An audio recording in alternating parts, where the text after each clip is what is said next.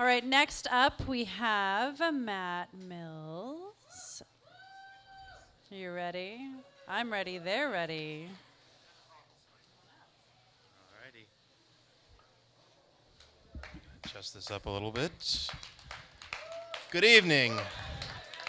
Uh, I'm Matt Mills, and I'm here to talk about Edison, the spiteful bastard.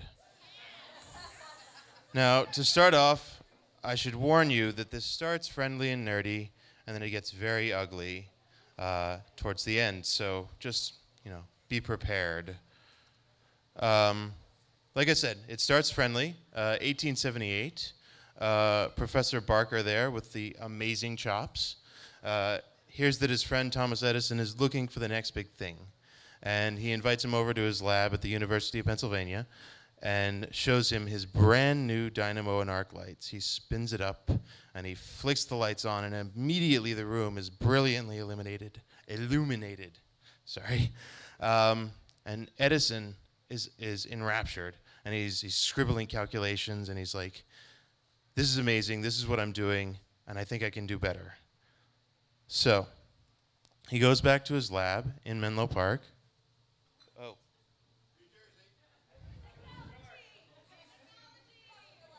Oh no. like hanging off. Eh? There we go. Fantastic.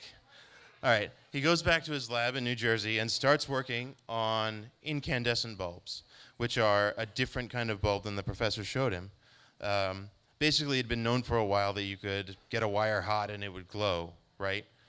So he starts along that path and uh, has some pretty quick success with platinum filaments, which, if you know anything about platinum, you know it's very expensive.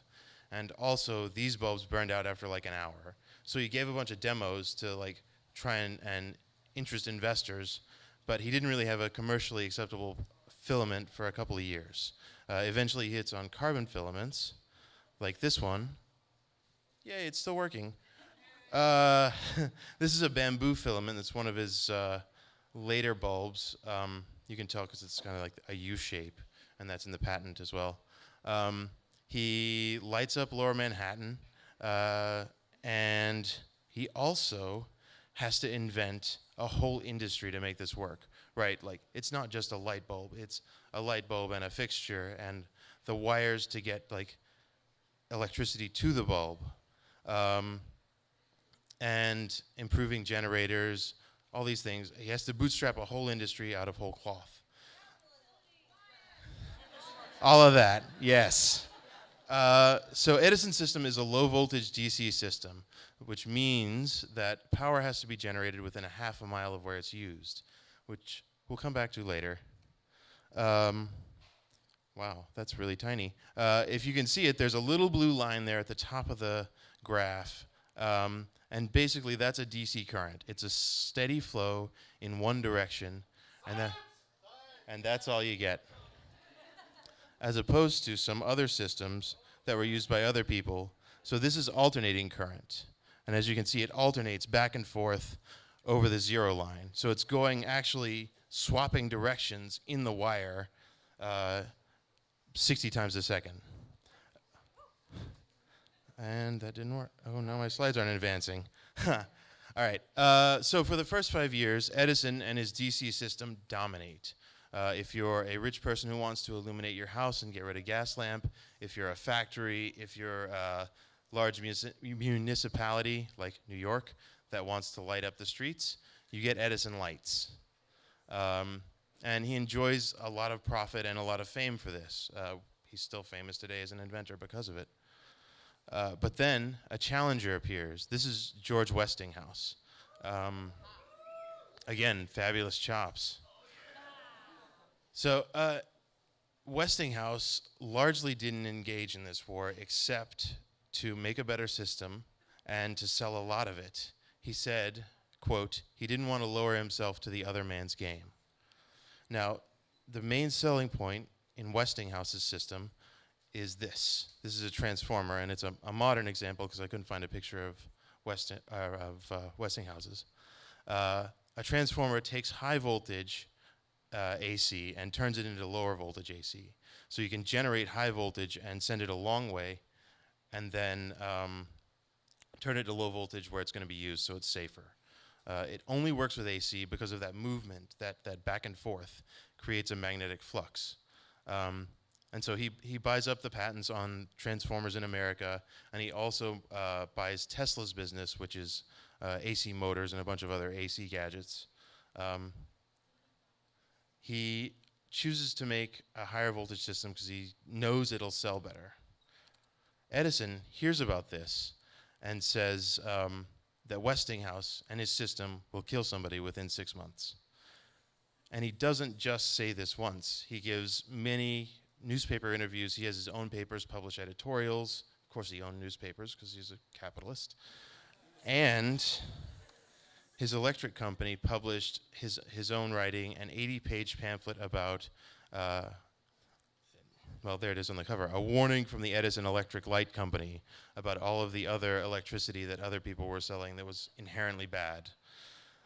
Um, he said, It is a matter of fact that any high voltage AC system jeopardizes life. that should be a new callback.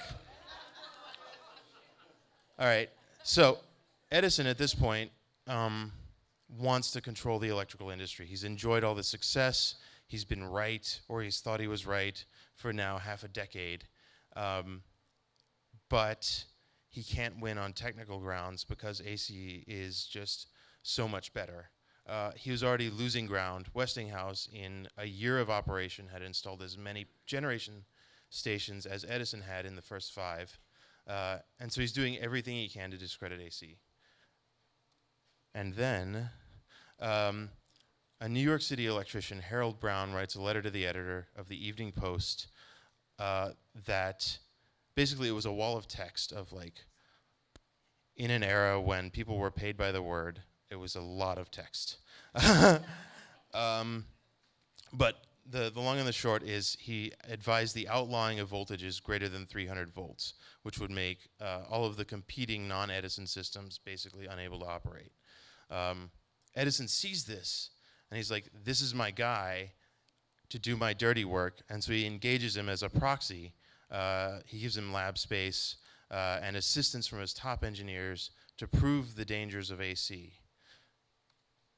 And this is where it gets ugly. Uh, I have deliberately made a blank slide. The image has been omitted due to graphic content.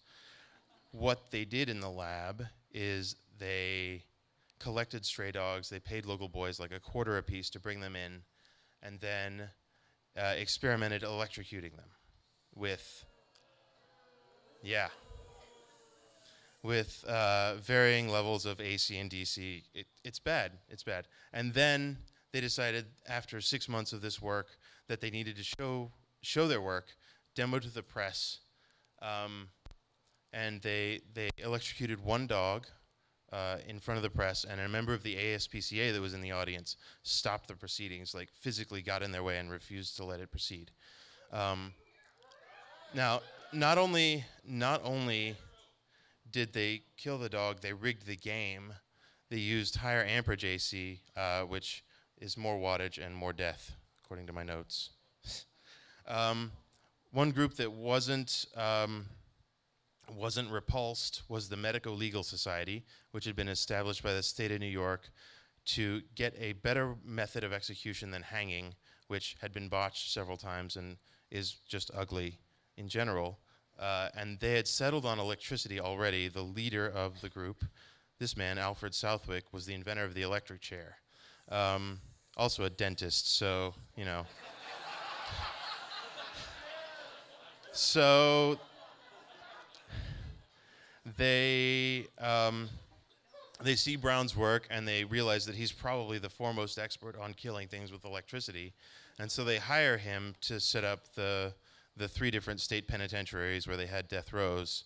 Um, and also through their contact with him, they, they, they got Edison to write a testimonial.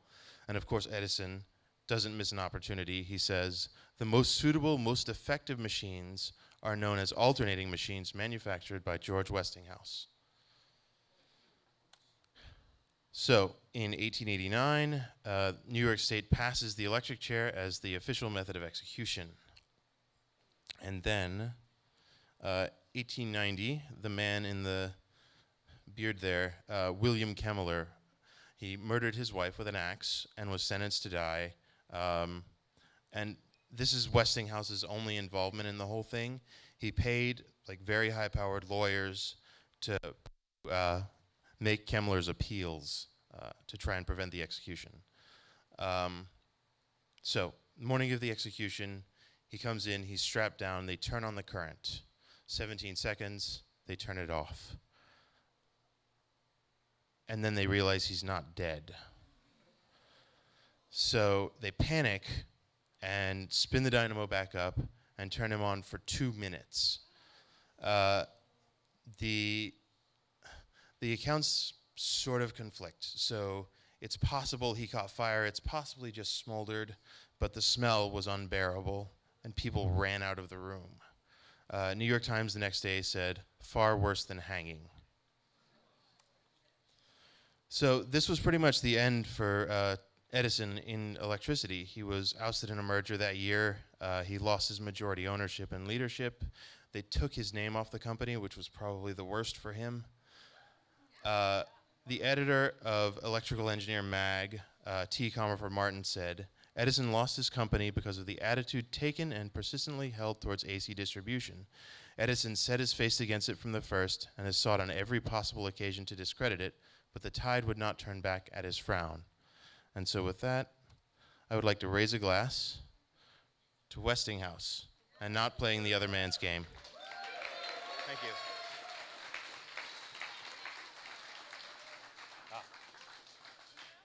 So, Matt, according to my calculations,